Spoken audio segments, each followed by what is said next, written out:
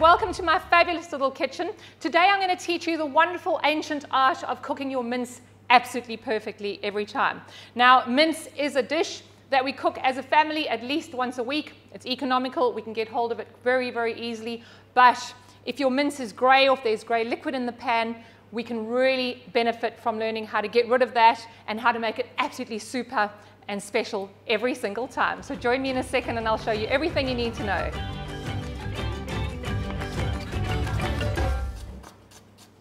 So guys, what are the most important things about mince? And this is just a lean mince from your supermarket. Now you can use a budget mince, but obviously there's going to be a lot more oil out of there, so just be careful with that. Sometimes it's worth paying a little bit more and getting um, with less fat. So guys, actually, most of your recipes will say to put the onion in first, but I like to put the mince in first. So when we put the mince in and the pan is nice and hot, you'll hear that beautiful sizzle which will actually solve all of your problems. Now, generally, for a family of four, you're cooking about 600 grams of uh, mince. Now, generally, that would overcrowd your pan. And what we always like to do is um, stir that mince really right from the outset. Now, that is probably one of the worst things you can do. And um, if you are a compulsive stirrer, you might have to learn how to just back away the, from the pan for a little bit because when I add that mince to the pan, what I want is that first layer to get nice and brown and fragrant first. Then and only then will I actually move that mince around the pan. So this might freak some people out, but if you could smell this right now, what you would smell is beautiful, sexy roast beef. It smells really good. Now, um, we are going to start breaking that mince down first because we actually don't want lumps, lumps in our mince. So um, if you've got a little plastic whisk like that, that really works well at breaking down that mince um, so that we don't have lumps later on. And if you can see there, I'm just going to keep a little bit of that pan um, naked or empty so that I can manage any of the grey liquid coming out. You can hear it sizzling, so I'm going to try and maintain that lovely hot sizzle in the pan. This is going to brown off that beef, and by browning off the beef all by itself early on in the cooking process, you're going to eliminate the need to disguise it with all those different sauces that you might usually have to use. So there's a lot of browning going on in here, which means that the meat is caramelizing down and we're going to get all those beautiful flavors. So while it's doing that, I always say it gives you more time to do other happy things around the kitchen. While that mince is cooking down, I'll quickly show you how to chop down an onion really quickly. And of course, because we're cutting the onion and it's going in second, I'm going to have to make sure that that is a very fine um, dice that we have on the onion, which is really easy to do. So guys, best thing to do when we're cutting that onion nice and fine is I've got my little serrated paring knife. We're just going to cut down into the onion like that. And I always say if it goes red, stop cutting immediately. Um, cutting down into it. As you can see, I've opened that right up. All right. And now if we just slice off like that, you're going to have beautiful, finely diced onion.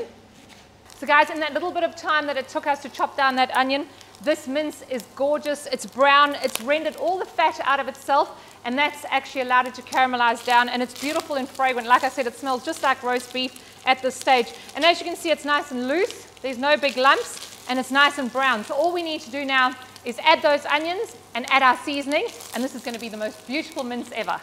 Now this is very finely chopped onion like I just showed you into this beautiful fragrant mince. So um, I have turned the heat down just a little bit and now we can add those gorgeous spices.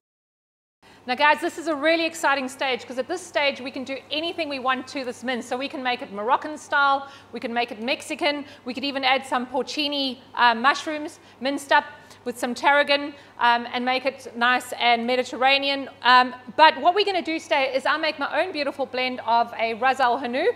I call it a culinary spray tan, and that's exactly what I've got over here. It's a beautiful mix of spices. Um, as you can see, it's lovely and bright and yellow, and we don't actually have to add a lot because now we've got flavor already in the mince.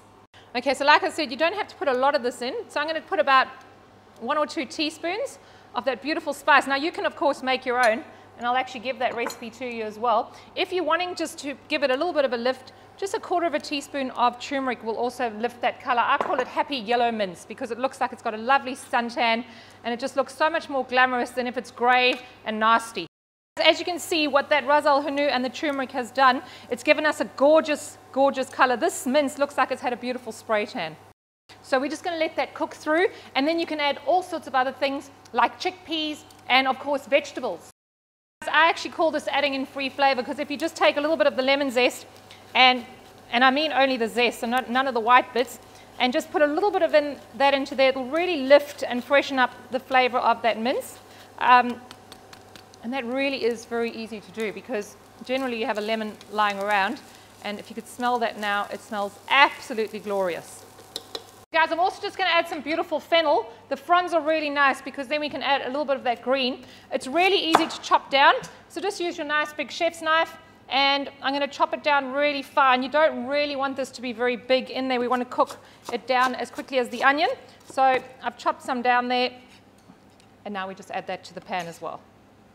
I'm just going to add some lovely um, chopped tomatoes. I've used cherry tomatoes, but you can use any tomatoes you want. And I've just chopped them nice and fine just to give it a bit of moisture um, to that dish. Obviously, it'd be quite dry. You can, of course, use a passata as well. And then just stir that through. And the next thing, last thing, will be those chickpeas. These are just chickpeas out of a tin, and obviously I've drained them. And then this will add a beautiful bit of texture to that as well, as well as bulking up your dish. And of course, if we've said it's uh, Moroccan or Middle Eastern, chickpeas are very authentic and they will be lovely in there. This is going to be like a minced goodie bowl. It's going to be absolutely delicious. If it's looking a bit dry, I can put a bit of tomato passata through there or just a little bit of stock will work as well. This is nearly ready to serve. Last thing we're going to do is adjust the seasoning. Always adjust the seasoning before you serve. So if you wanted to use a little bit of uh, stock powder, you could, or even some flake salt would be lovely. So just make sure you taste it before you serve it. That has cooked down. The onions are soft. The chickpeas are also nice and soft. They've incorporated themselves into that dish.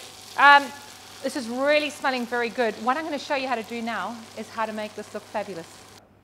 So guys, I know it's only mince, but this is where the magic happens if we plate it up perfectly, because then we get a round of applause. So um, best way to transport mince or anything that's uh, threatening to fall off the spoon is just place your little saucer over there, and that'll help you be nice and neat. All right, so what we're going to do is top that with all sorts of beautiful things. We've got lovely fresh rocket and all sorts. You can put anything you like on there and really make this pop. Best thing to do is drizzle that. So I've got a beautiful fresh lemon oil here. Of course, make sure it's fresh and make sure it's in date. Right, so they'll just fall beautifully. And then what we're going to do is top this with a matching culinary bling. So we're going to bash down some pistachios and dates and put some beautiful yogurt on there and it's going to look absolutely fabulous. Okay, pistachios are beautiful. First of all, they're going to add beautiful crunch, and they are beautiful green color. So we're just going to bash those down. Um, I always say this is a good stress reliever if you've had a bad day. Um, don't bash it, bash it down too much so that it's an absolute powder. We want to sort of have them just sort of half cracked in little bits so we can appreciate um, what they are, and just have them bashed down into a nice pistachio gravel going to chop these dates down just so that they're about the same size as those pistachios. You can either use your big fancy knife or just a pair of scissors will do the job for you. So it depends on what's closest. Guys, for our culinary bling, this is where we make the magic happen. Like I said, we've got our pistachios in there. I'm going to add a little bit of the chopped dates. Now you can add any dried fruit that you might have um, with you. Just to match our mince, I'm also going to add a little bit of that Ras Al Hanout spice, just a wee bit. And I've got some beautiful rose petals here, which will add some beautiful mystery and color to that dish. Um, and those are quite easy to get hold of. Of course, you can use fresh edible flowers as well, if you had any. And that looks absolutely glorious. So I'll just give that a stir.